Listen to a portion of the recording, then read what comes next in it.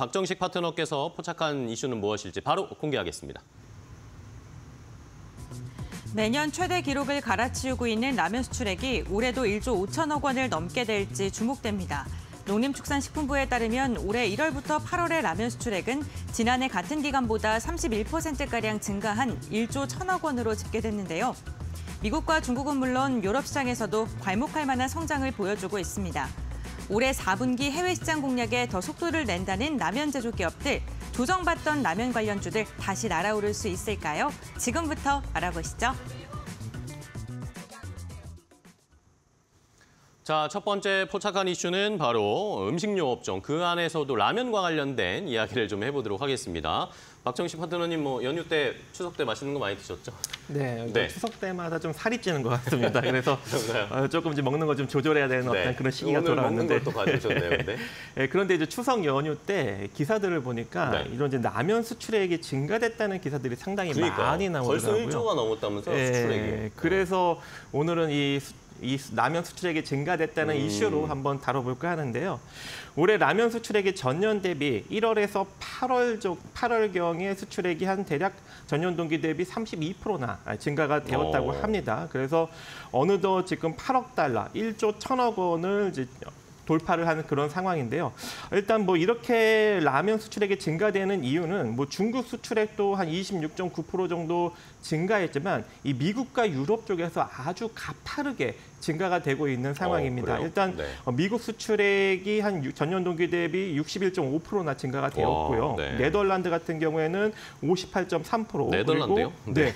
일단은 뭐 유럽 쪽에서는 네덜란드 수출액이 3위입니다. 그러게요. 그러니까 미- 지금 현재 특이하네요. 미국, 예, 그렇죠. 전 세계적으로 보면은 일단은 어, 우리나라 라면 수출액이 네덜란드가 일단 3위고 그 다음에 이제 어. 영국이 64.9%나 증가가 되었고 독일이 47.4% 이렇게 어, 지속적으로 빠르게 지금 음. 미국과 유럽 쪽에서 증가가 나, 나오는 상황이고요. 또 어, 이렇게 이제 증가되는 추이가 네. 지난 2015년부터 이어졌다고 해요. 음. 그래서 지금 현재 보면 9년째 지속적으로 증가가 되고 있는 상황이고 올해 또 해외, 해외 어, 기업들이 이제 해외 공략을 좀 발빠르게 진행을 하고 있는 상황인데 그래서 한 연말 정도가 되면 1조 5천억 달러도 넘어설 전망이다라는 이야기가 현재 나타나고 있습니다. 그래서 농심 같은 경우에는 내년 초에 이제 설립 예정인 유럽 판매 법인을 4분기에 구체화하고 10월에 이제 미국 어, 생산 공장 증설을 앞둔 상황이기 때문에 아무래도 좀 어, 이 생산량이 빠르게 증가될 수 있는 여력이 존재할 것 같고요. 또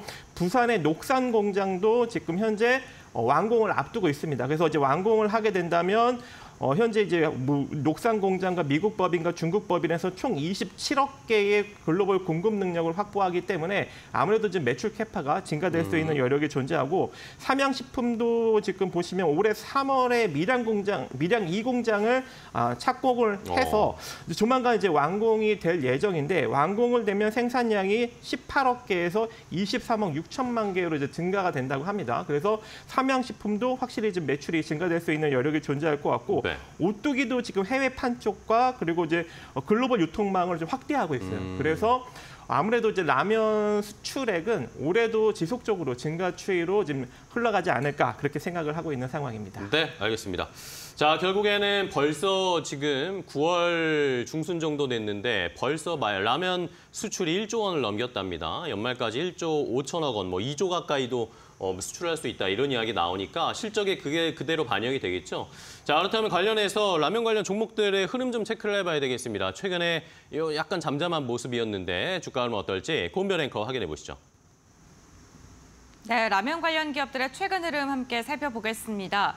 올해 6월만 하더라도 라면 관련 기업들이 수출 모멘텀을 안고 주가 역시나 고공행진을 했었습니다. 그 뒤로는 좀 하향 추세를 이어가고 있는 모습이 나타나고 있는데요. 대표적인 라면 관련 기업인 농심 같은 경우에는 120주봉을 회복하려는 모습이 나타나고 있습니다만 올해 초 저점 부근까지 좀 지속적인 하락 추세가 이어지고 있는 상황입니다. 삼양식품 같은 경우 불닭볶음면의 힘을 안고 가장 가파른 상승 상승세를 보여준 종목 중의 하나이죠. 현재 구간에는 51만 원 구간에서 거래가 진행이 되고 있는 상황인데요. 9월 9일 이후에 다시 들어 올려주라는 모습이 나타나고 있습니다만 50만 원 선이 무너지는 모습까지도 확인이 됐었고요. 이와 함께 연동돼서 불닭볶음면에 소스를 제공하는 기업 S&D 같은 경우에도 전거래일은 0.3%가량 하락했고요. 신저가 부근에서 움직임을 가져가고 있는 모습입니다. 어, 오뚜기 같은 경우에도 2%가량의 상승력을 보여주면서 전일 좀 들어 올리려는 모습이 나타났습니다. 어, 다만 51만 원대에서 8월 달 들어서 다시 30만 원대로 하락을 했다가 현재 구간에는 주가의 회복을 좀 시도하고 있는 모습이고요. 풀먼 같은 경우에는 어, 건강한 라면으로 좀 어, 사람들의 주목을 받았었죠. 현재 전거래일만 보게 된다면 0.9%가량의 상승력을 보여줬습니다만 역시나 만 원대를 좀 위협받으면서 신저가 부근에서 움직임을 가져가고 있습니다. 라면 관련 기업들의 최근 흐름을 보게 된다면 6월의 고점 부근에서 한 반토막가량 절반가량 주가 가 하향 조정이 된 상황입니다. 이러한 상황 속에서 수출은 지속적으로 늘어나고 있다는 소식이 전해지는 만큼 앞으로 또 다시 신고가 행진을 이어갈 수 있을지 많은 분들께서 주목하고 계실 것 같은데요.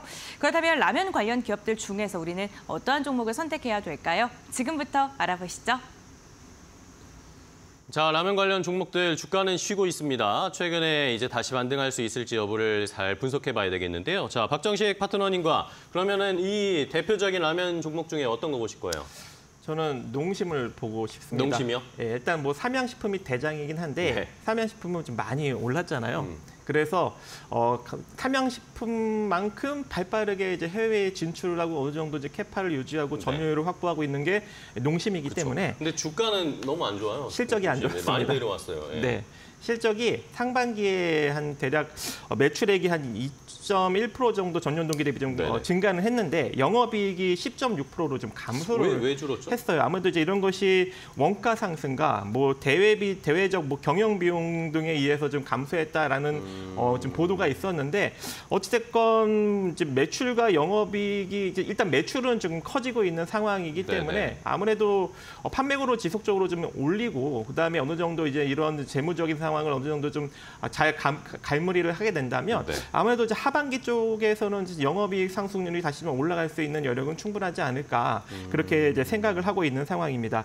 일단 어, 발빠르게 이제 미국 시장에 가장 먼저 진출한 게 일단 농심이었어요. 네네. 보시면 지난 이제 2010년부터 이제 본격적으로 미국 시장을 공략을 해서 2013년에 이제 대형마트 체인 월마트와 직거래를 시작했습니다. 이때 어, 미국 점포의 한 7개 월마트 매장에서 신라면 테스트 판매를 진행했는데 이게 굉장히 잘 돼서 2017년에는 4천여 개 점포에 입점을 하게 됩니다. 이때부터 점유율이 이제 증가가 되었고 이 국내에서 실패한 이 신라면 블랙이 2020년에 뉴욕 타임즈가 선정한 세계 최고의 라면으로 등극이 됐던 네. 전력이 있고요. 또 신라면과 짜파게티가 2021년 뉴욕 매거진이 발표한 최고의 라면에 한국 라면으로 유일하게 포함이 되었습니다. 음. 그래서 일단 뭐 제품에 대한 힘은 충분히 있다라고 제 생각이 되고 있는 상황이고요.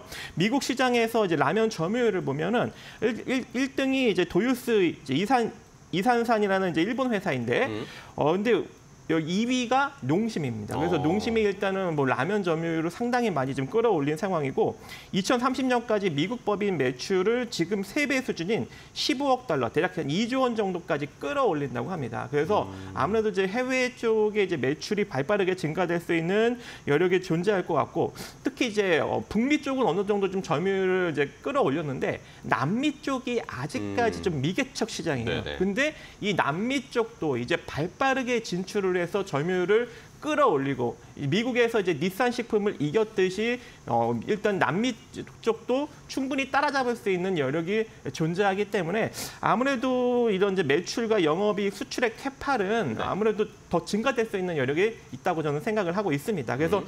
최근 주가도 좀 많이 내려왔기 때문에 네. 여기서 한번 우리가 저점 매수를 한번 어, 가볼 수 있는 여력이 충분할 것 같고요. 만약에 이제 오늘 수급이 좀 잘 붙어서 시세가 상승력이 나타나게 된다면 어, 최소한 한 지금 현재 한 38만 6천 원 정도 수준인데 네. 한 40만 9천 원 정도, 한 41만 원 정도 자리까지는 빠르게 올라갈 수 있을 것 같아요. 그래서 만약에 이 자리를 돌파 안착을 하게 된다면 43만 원대까지 올라갈 수 있는 여력이 존재하고 43만 원대까지 만약에 올라가게 된다면 41만 원만 재이탈시키지 않는다면 중기적인 상승력도 추세상 나타날 수 있다고 생각하고 있습니다. 네, 좋습니다. 자, 농심을 골라주셨어요. 뭐 대표적인 라면주 중에 하나인 상황인데 주가는 또 많이 내려왔습니다. 2분기의 실적, 상반기 실적 자체가 조금 실망감이 있었는데 과연 이제 다음 달에 10월에 실적 발표할 때 과연 좋은 모습을 보여줄 수 있을지 실적 기대감으로 반등할 수 있을지 여부가 중요 체크 포인트 같습니다. 자, 곽유정 파트너님은 어떤 종목, 라면 종목 보세요? 네, 저는 이제 보수적으로 오뚜기 가지고 올까 네. 하다가 말씀하신 대로 삼양식품이 대장이기 때문에 대장주 흐름들도 같이 음. 한번 좀 되나요? 네, 체크를 해드리는 게 좋을 것 같아서 삼양식품 가지고 네. 왔습니다. 최근 이제 8월 달 동안에는 좀 비수기를 겪었었거든요. 주가 역시도 낙폭이 좀 크게 나와준 상황입니다. 음. 그런데 8월 말부터 지금 이제 시점에서 흐름을 보면요, 조정 이후에 지금 어, 흐름이 어, 추세가 지금 전환되려고 하는 네. 그 기술적인 시그널들이 지금 감지가 되고 있는 네네. 시점이긴 하거든요. 거기에다가 2분기 같은 경우에는 역대 그 사상 최대치 분기 실적을 찍기도 했었고 이런 흐름이 또 당분간 좀 더 지속될 것으로 보여집니다. 3분기 역시도 예상 컨센서스 긍정적으로 나왔다고 볼 수가 있을 것 같고요. 특히나 이제 하반기에는 유럽 쪽의 판매고에 열을 올리겠다라고서 네네. 이야기를 하고 있는데 2019년도까지만 해도 유럽 지역의 점유율 자체가 6%한 자릿수밖에 되지가 않았거든요. 그런데 올해는 상반기 기준으로 해서 비중이 한 19%약 거의 20% 와, 네. 가까이 지금 유럽 쪽에서의 판매 비중이 확대되고 있는 시점이라고 볼 수가 있겠습니다. 그렇기 때문에 이 하반기에 대한 실적 기대감이 유럽 쪽에서 매출이 또 추가적으로 반영이 어, 더 될 가능성이 높기 때문에 관련해서 모멘텀 주목해 보셨으면 좋겠고요. 여전히 지금 공급이 수요를 못 따라가고 있는 중이라고 합니다. 이 와중에 지금 공장 계속해서 어, 증설해 증설하고 나가고. 있는 네. 중이기도 한데요. 밀양 공장이 만약에 이제 증설하게 된다면 내년에 이런 캐파 볼륨 자체가 조금 더 커질 가능성이 높아서 아직까지는 삼양식품을 조금 더 예의 주시를 해봐도 괜찮지 않을까라고 보고 있습니다. 어, 기술적인 흐름 봤을 때 지금 추세 구간이 상방으로 전환될 수 있을지 눌림목인지 한번 지켜봐야 네. 되는 구간이긴 하거든요. 그런 관점에서 눌림목 공략을 하신다고 하신다면은 지금 현재 지금 전저점 구간대가 명확하게 지금 지지 구간이 잡혀 있는 상황이에요. 47만 원 구간대만 이탈하지 않으면 추세 전환 가능성 높기 때문에 삼양 식품 대장주로서 흐름을 계속 체크해 보셨으면 좋겠습니다. 네, 알겠습니다. 자, 라면 수출이 불 계속해서 날개 달린 듯이 잘 나가고 있답니다. 수출량이 계속 늘어나고 있는데 여기에 수혜받을 수 있는 결국에 어, top one two를 주셨어요. one two, 투톱을 주셨으니까 농심과 삼양식품 시청자분들이 주가가 좀 어느 정도 조정받았는지 여부가 조금 차이가 있는 상황인데 시청자분들이 성향에 따라서 판단하시면 될 것 같습니다.